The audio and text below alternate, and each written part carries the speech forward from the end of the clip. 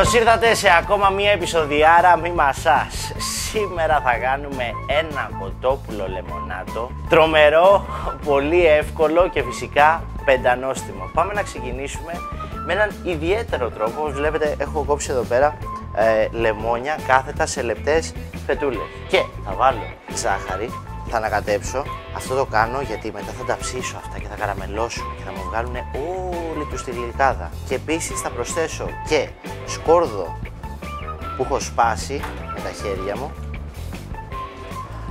Ήδη ξεκίνησε και μου σχοβολάει. Και το αφήνω στην άκρη να μαριναριστούει. Να μαριναριστούν. Γαντάκια. Ανοίγουμε τη φωτιά μας στο δυνατό και πάμε να ξεκινήσουμε να ψήνουμε το κοτοπουλάκι. Σκεφτείτε ότι είναι μια συνταγή, παιδιά, η οποία γίνεται μόνο σε ένα τηγάνι. Τίποτα άλλο. Ούτε γάστρες, ούτε ταψιά μέσα στο φούρνο κτλ. Γιατί θα χρησιμοποιήσουμε στήθος κοτόπουλο, το οποίο το έχουμε κόψει στη μέση κάθετα και έτσι θα επισπεύσουμε το χρόνο μαγειρέματος. Αλατάκι, πιπεράκι και λάδι. Μαρινάρουμε το κρεατάκι μας με το ελαιόλαδο στο μπολ και μετά το βάζουμε στο τηγάνι. Από τη μεριά της πέτσας ξεκινάμε να ψήνουμε το κοτόπουλο. Έχω βάλει δυνατή φωτιά για να μου πάρει γρήγορα μια κρούστα γύρω γύρω το κοτόπουλο και μετά θα το μειώσω στο μέτριο για να ξεκινήσει να μαρινάρεται. Βλέπετε έχει ξεκινήσει και παίρνει ωραίο χρωματάκι το κοτόπουλο. Λοιπόν, το κοτοπουλάκι έχει πάρει όπως βλέπετε πολύ ωραίο χρωματάκι να ούμε. Παίρνω ένα πιατάκι και το αποσύρω.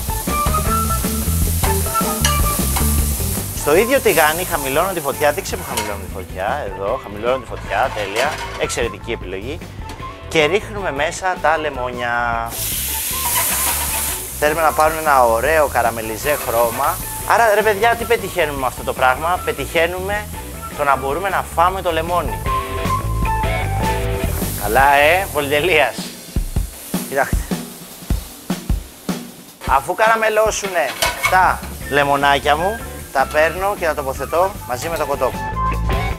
Στο ίδιο τηγάνι, είδατε, στο ίδιο τηγάνι όλα, πάμε να ετοιμάσουμε τη σαλτσούλα, χαμηλή φωτιά, όπως ήταν πριν και πάμε να κάνουμε παιδιά κάτι σαν γρήγορη μπεσαμέλ. Θα βάλω λαδάκι για να προστατέψω το βούτυρο από το να μου καεί και ρίχνω μέσα βούτυρο. Προσθέτω κρεμμύδι ψιλοκομμένο, σκόρδο ψιλοκομμένο και βέβαια το αγαπημένο μου μυρωδικό θυμαράκι. Χαμηλή η φωτιά και αφήνουμε δύο λεπτάκια να καραμελώσει ωραία το κρεμμύδι μας. Λευκό κρασάκι, ανακατεύουμε. Τέλεια, το αλκοόλ έχει εξαρμιστεί τελείως. Ρίχνουμε μέσα και το αλευράκι μας.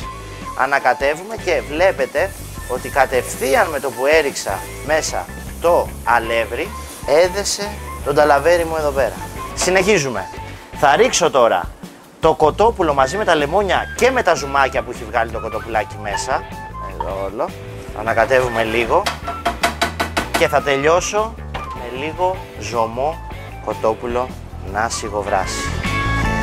Σιγοβράζουμε έτσι σε μέτρια φωτιά μέχρι να δέσει η σαλτσούλα, να μαγειρευτεί τελείως και το κοτοπουλάκι και στο τέλος θα πασπαλίσουμε με λίγο μαϊντανό και κάπαρι. Θα αφήσουμε τώρα για κανένα πεντάλεπτο να δέσει σαλτσούλα, να τελειώσουμε τη σημερινή μας συνταγή που πραγματικά, ρε παιδιά, ήταν δύσκολη. Ε, δεν ήταν δύσκολη. Και εσύ που είσαι άσχετος από μαγειρική, θα μπορούσες να την κάνεις, δεν μπορούσες.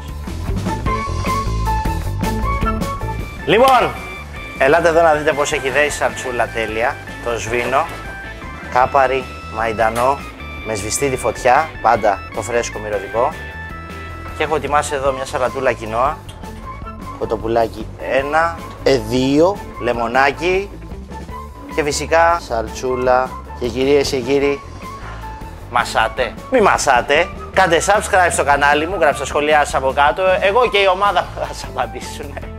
Κάντε και μια κοινοποίηση, κάντε και ένα like. Ψ, καλά έχω γίνει youtuber τρελός. Λοιπόν, δοκιμάστε το, είναι μετανόστιμο, σας αγαπώ πάρα πολύ, ραντεβού στο επόμενο επεισόδιο, μη μασάς.